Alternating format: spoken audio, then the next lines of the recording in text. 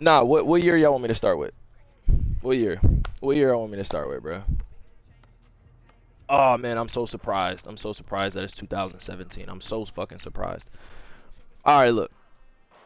All right, look, because I know people are gonna try to clip this up, and I'm not gonna be politically correct with this because I, I'm I'm not trying to be. I'll I'll save that for for a safe space for another for another time. But look, you want me to start in 2017? All right, bet. So we just coming up our championship, and when we won the championship, it was it, it was the, one of the biggest changes in my life um, because man, like so many doors opened up after that finals. And let me just explain to you what happened after the championship. First off, I had never been in that type of killer mode in my life. I had never been in that type of killer mode in my life. I played some incredible games, but I, I was just I was in a killer, killer, killer mode, bro. Killer mode. Assassin mode, bruh. Assassin mode. Right? So, like I said, after the finals, doors started opening up. Um, you know, my life started to change. I, I, I just started to do different things, meaning, you know, I, I just wanted to try to be uh let me let me see. So I don't want to just chat with y'all. Let's just say this. As I say my life changed and doors opened up,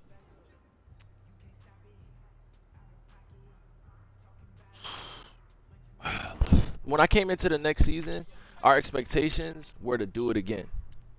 And my focus level that next year was at an all-time high. All-time high. If you look at it, that season that I had the year after the championship, go what what's my stats? What's my stats? what's my stats? What was my stats?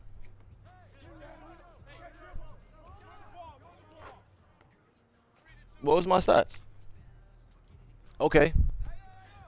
What what did I leave out of there award wise with after that season? Huh? What did I leave with?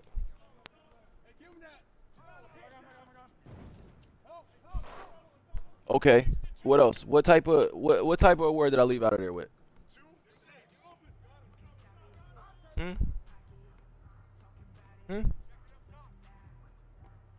Not what? Tell me. Me.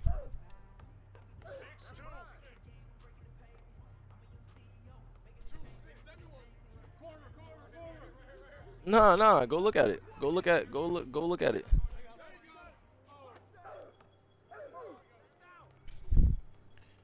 Nothing, right?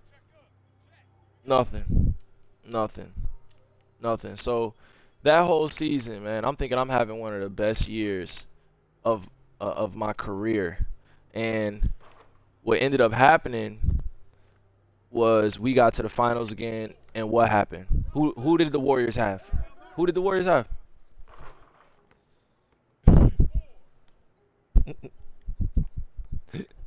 Who? Who did the Warriors have?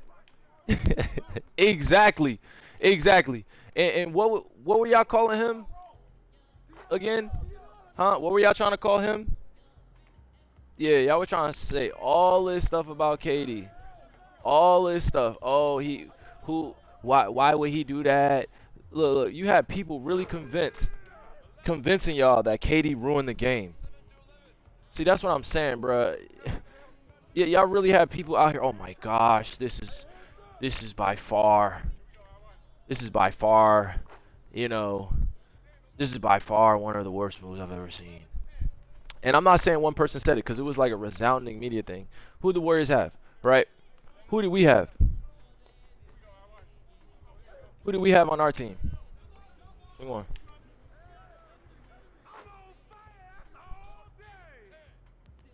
Who do we have? Hmm? We had a great team. We had a similar team right, from the year before. But when you add KD to an already great team, it's just gonna be a historical. It's gonna be a historical matchup. And and honestly, when you when you think about it, what were we down? We were down 3-0. We were down 3-0.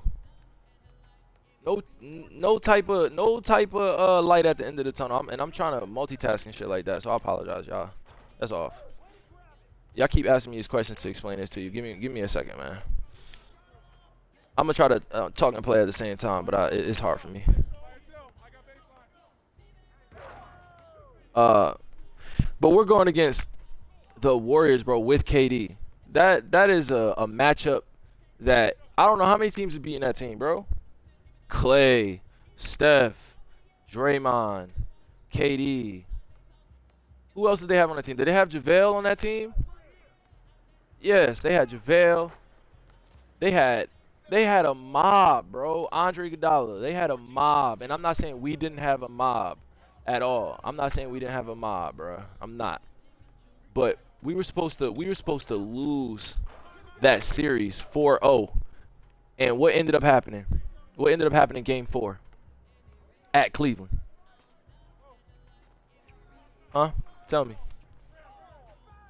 What happened game 4 at Cleveland? Oh, okay. Okay, we we we still got 4-1, but what happened? Uh, at, at least, at least, at least we gave it an attempt. At least. Most most people would have folded 4-0 in the finals.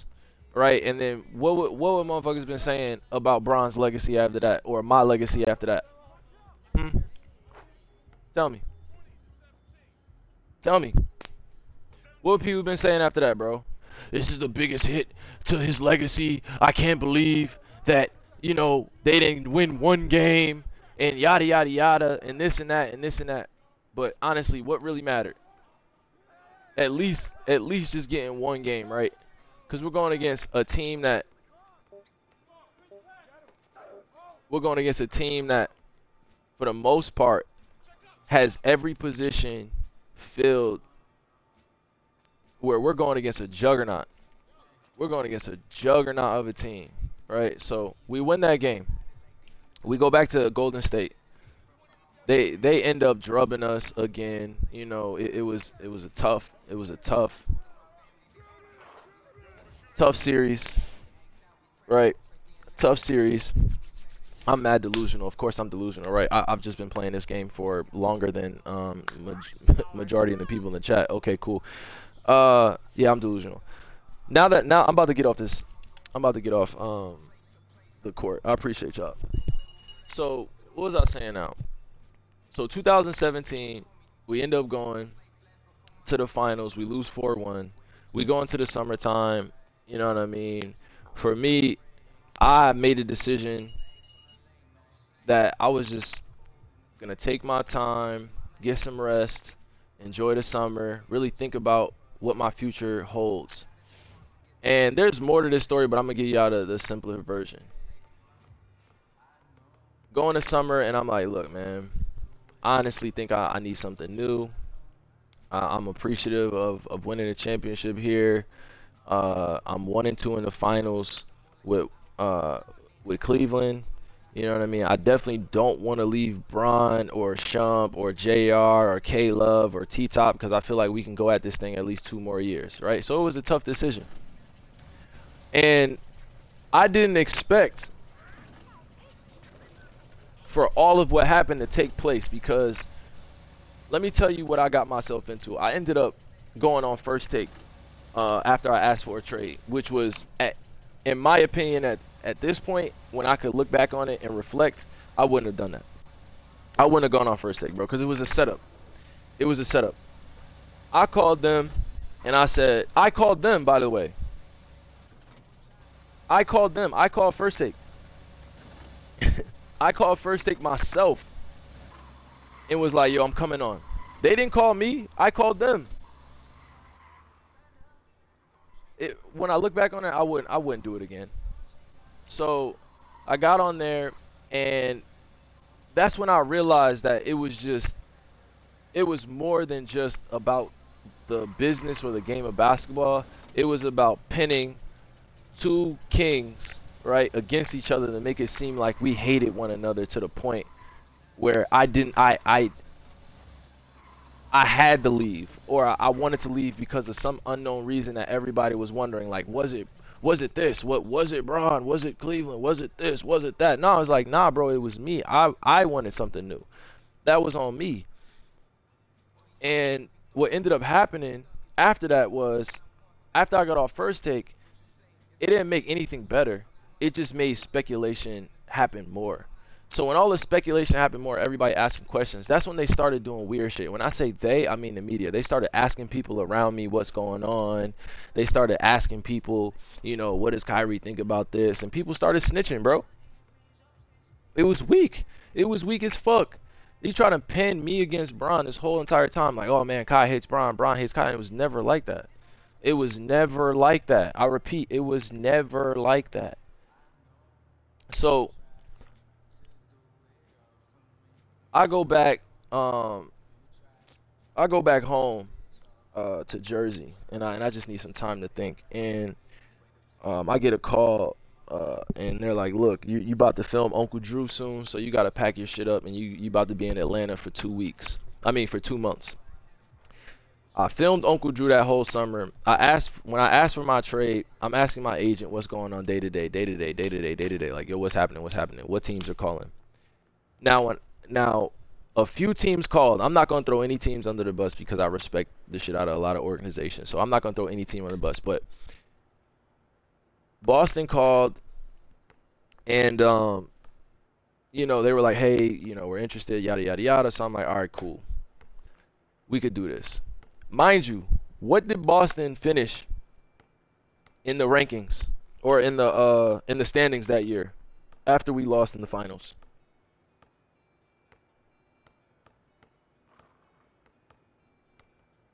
They finished. Okay. Does anybody remember that series? Does anybody remember that series? okay. Do, does anybody remember my series against Boston before I got to Boston? Okay. All right. I just want to make sure. I just want to make sure we're on the same page. So Boston calls and they're like, "Yo, uh, we're making moves. I said, bet. We draft JT, Jay Tatum, if you don't know who JT is. We got Jaylen Brown on the team. We got Marcus on the team.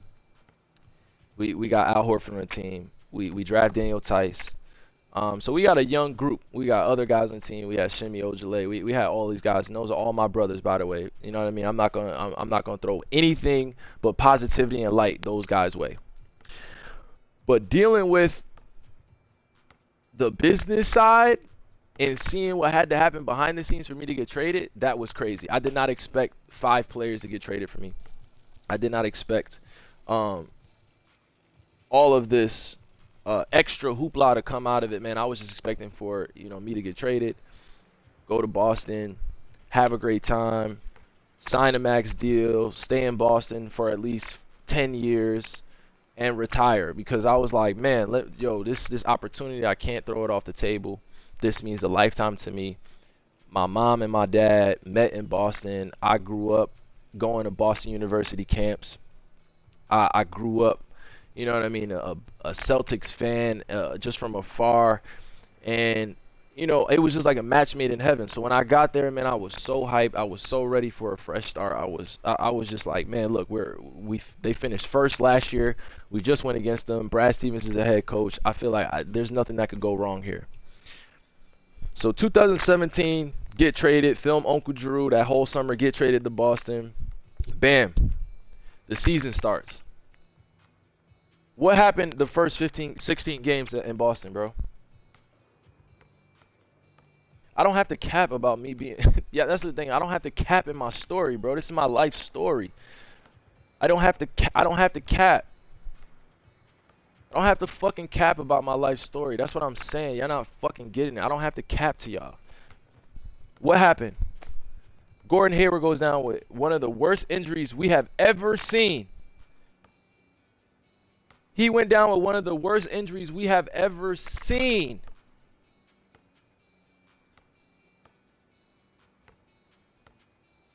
You feel me? I'm not gonna respond. I'm not gonna respond to the haters. I got y'all, bro. One of the worst injuries, man. I I like I literally saw it happen live, it, and I had to say prayers right after that because I think we all felt the air be sucked out of the arena when that happened. It was one of the craziest things I've ever seen. So, boom, that happens game one. We lose Gordon. We, we spent all the preseason playing together. We spent all the preseason getting to know one another. Bam, Gordon goes down. Bam, okay, cool. Now who steps up in that? JT. Right? We all knew JT was nice at Duke. But do we expect JT to be that nice his rookie year? Yes, I did. I knew he was nice. I, I knew it. I, I knew JB was nice. And when I say JT and JB, I'm talking about Jayson Tatum and Jaylen Brown. I knew they were nice. Did I know Marcus Smart was as great as he is now, like a potential defensive player? Absolutely, bro. I saw it every day in practice. I knew how great these guys were and still are to this day. So Ben, we go through the season, we go on a what a 16 game win streak, 15 game win streak. I don't even remember what it is. Everybody was writing us off. We lost our first three games. Oh my gosh, what's going on with the Celtics? Yada yada yada. Right, all right. So fast forward. We go through the 15 game win streak. We end up going like, um, we end up going uh, like we end up splitting the rest of the games the rest of that season. Around game 60, my knee started acting up.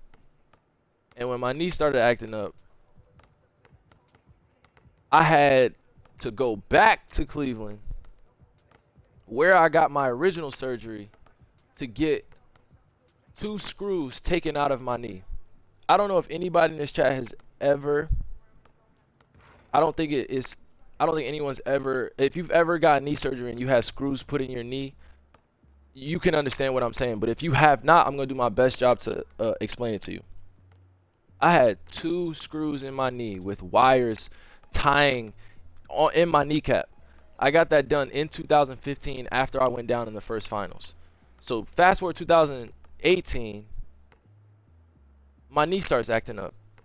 They take out the wiring. They take out the wiring in my kneecap, and they test it for an infection. They take out the wiring. It comes back positive for an infection.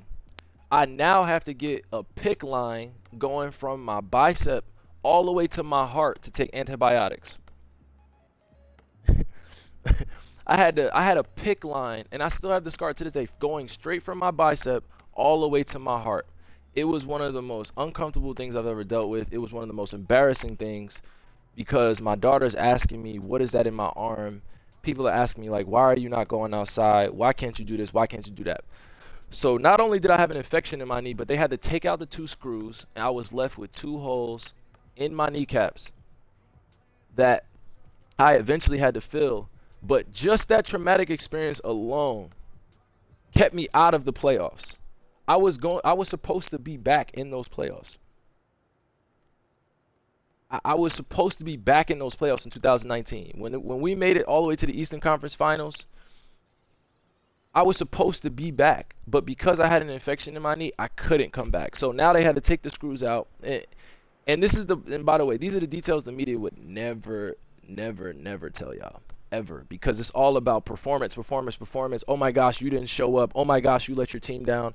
Oh my gosh, you you you sold on us. Oh my gosh, you let us down. Oh my gosh, and it's like literally I dealt with one of the most traumatic experiences in my life dealing with that knee injury. So bomb, I don't need no sympathy from anybody. I don't. I'm over it at this point. I got through it.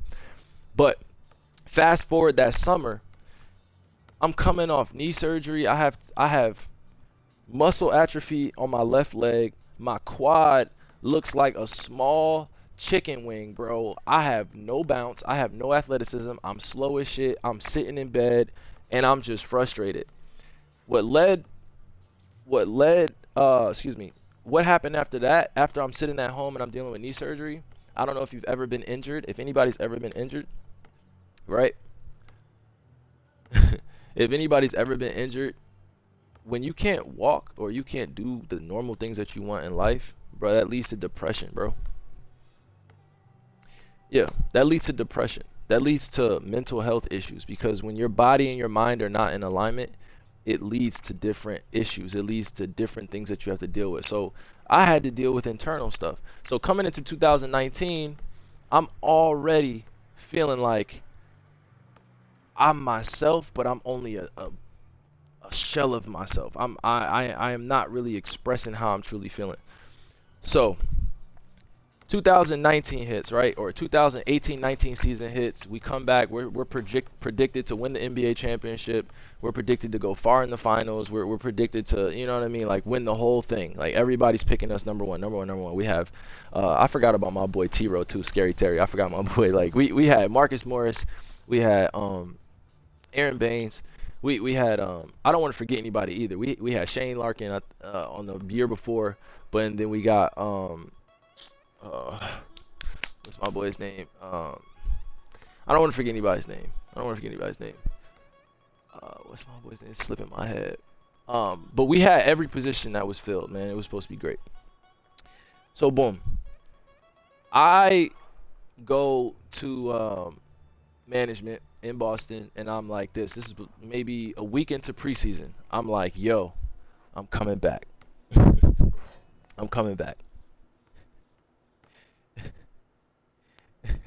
I'm coming back. That's what I said. I told Boston, I'm like, I'm coming back. And the reason why I said I'm coming back is because I had plans up my sleeve, y'all.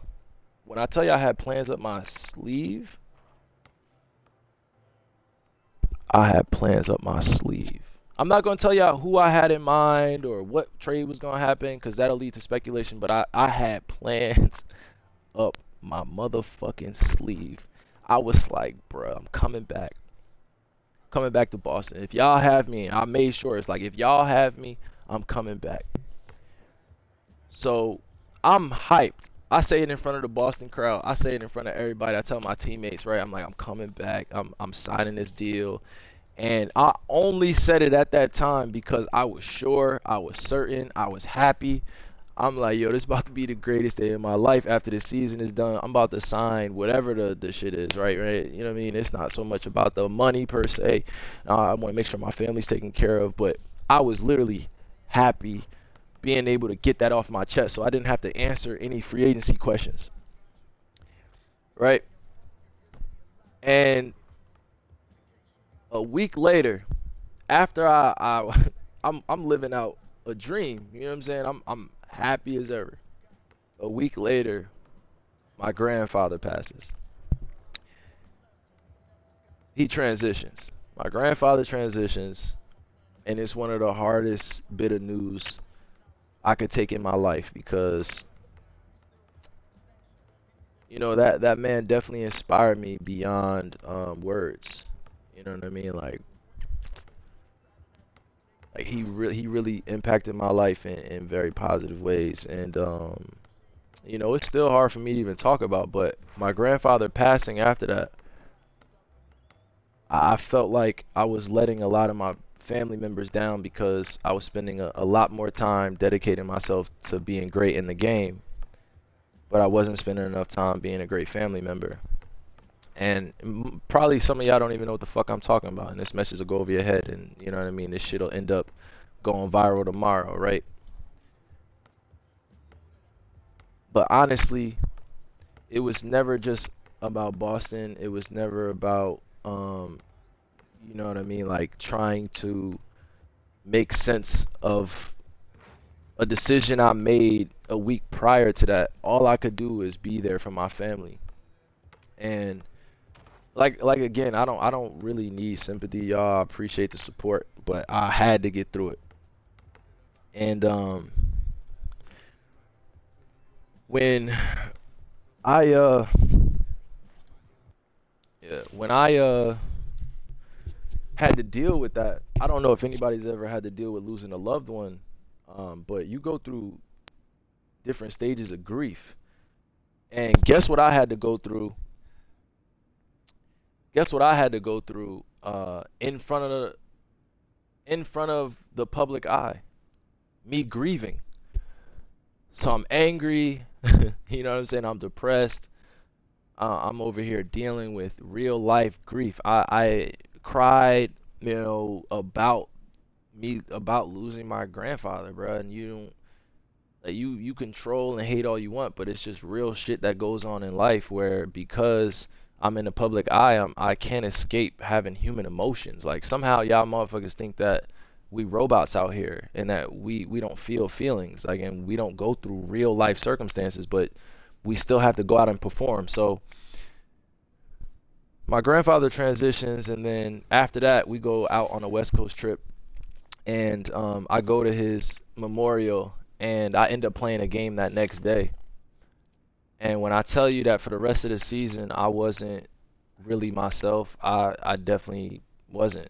And i wasn't having fun playing basketball as much anymore and, and that started to spill over into our team goals. You know what I mean? And and I'm definitely definitely not ever a person that comes in and says, "Look at me, look at me, and what's going on." I'm just real. And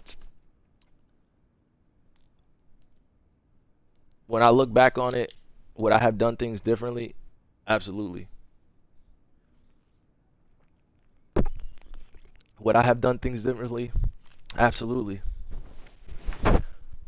Did I have to learn from my mistakes in the public eye? Absolutely. Did I have to deal with the consequences of going throughout the season and then making a decision to go back home and be with my family? Absolutely. But let me tell you about the positives. Let me tell you about the positives what ended up happening. I learned how to cope with grief. I learned how to cope with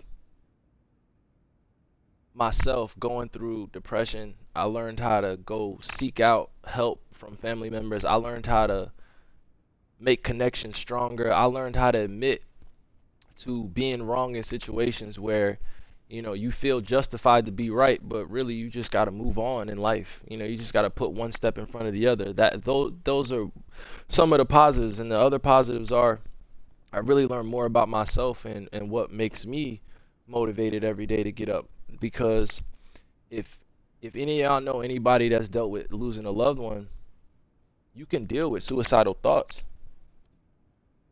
You feel me? You can you can deal with suicidal thoughts. And that's just one of the things of grief. Like you don't want to live here anymore on this earth.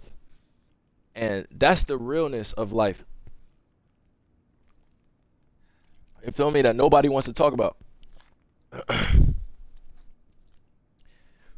and, and, it's not it don't don't and by the way don't come at don't come at the fan base either. Don't come at their fan base. It's all good. Let let let that let that rock.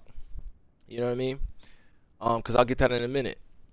But throughout that season 2018 2019 i'm dealing with all this. We end up going into the first round against the pacers.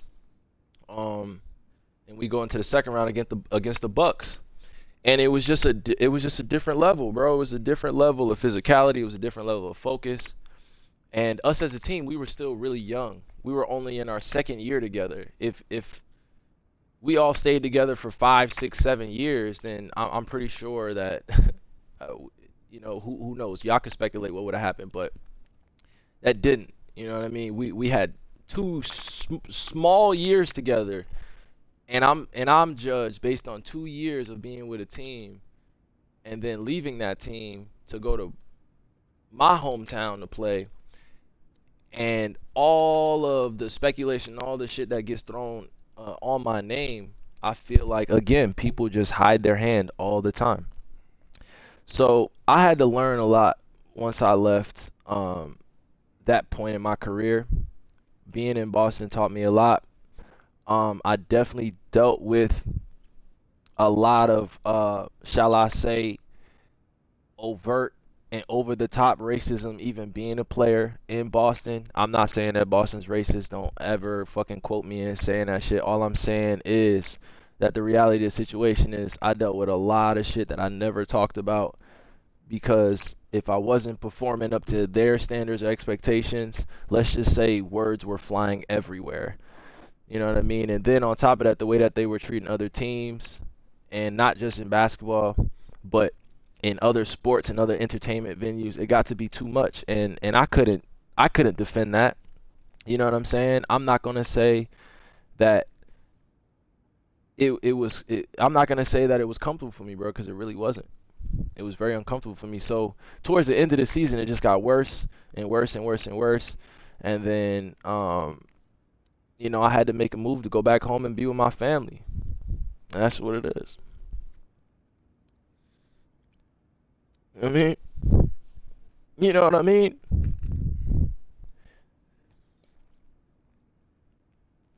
I don't have to say and repeat some of these things. I don't. Because all of this that I'm talking about is really my perspective. Other people may have a different perspective, right? But if you weren't in our locker room and if you weren't in our day to day, you really don't know what the fuck was going on. You really don't. you really don't. If you weren't there every day, if you weren't in our practices, if you weren't in our team meetings, you really don't know what the fuck going on. So when I'm telling you my perspective, you don't have to respect it. You don't have to agree with it. You can criticize it, you can judge it, but this is my perspective and this is what it is. So going from Cleveland, I told y'all from 2017 getting traded to Boston, going from Boston and being a free agent. My my journey it, let's just say injuries, losing loved ones, it it shifted me into a whole different um path. You know what I'm saying? Like I didn't expect my grandfather to pass during the year where I, I've I've committed to Boston for five plus years, and then I lose him, and then I go through some of the worst mental health crises in my life. You know what I mean? I'm I'm dealing with real life issues because I didn't know how to deal with grief. Being in Cleveland, being injured, you know what I mean? Being with one of the greatest to ever play the game and wanting respect from my peers and wanting to go out and start something new. I didn't know it was gonna come with all that, bruh. But it did. But it did, and it only got me stronger.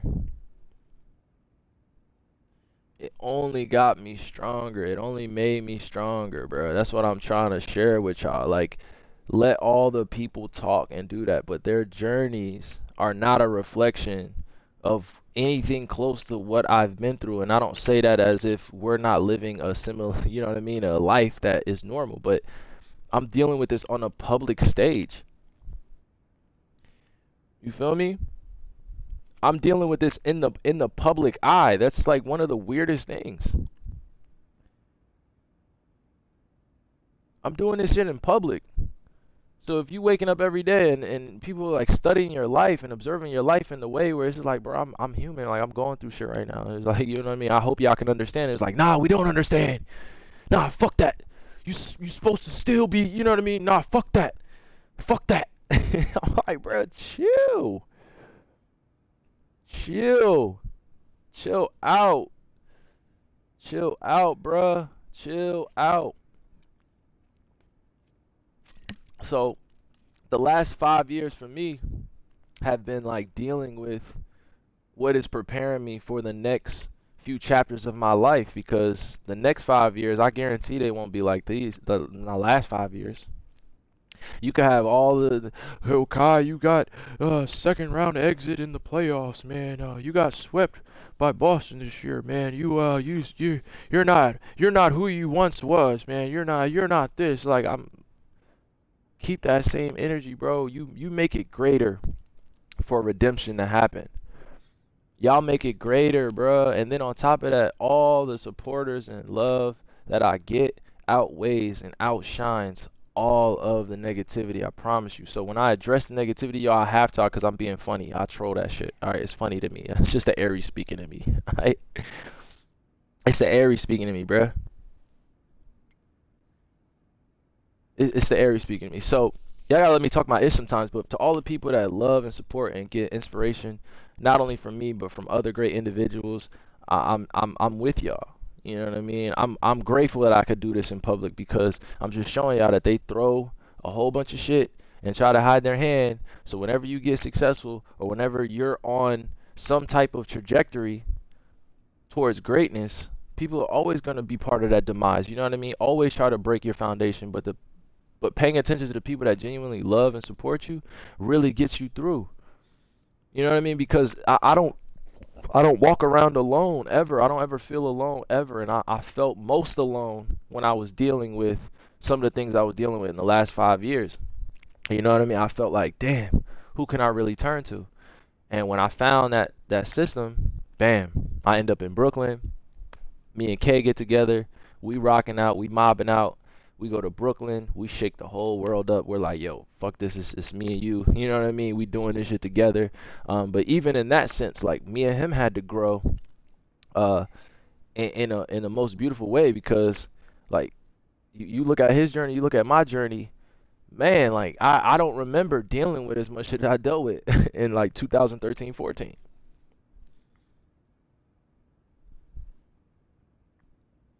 What? bro, what what are y'all spamming in here, bro?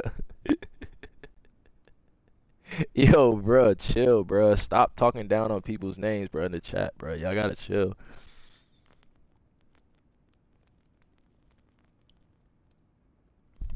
I'm be honest with you, I don't feel the same way some of y'all feel about teams, players. When y'all be saying all that disrespectful shit, bro, y'all can miss me with that.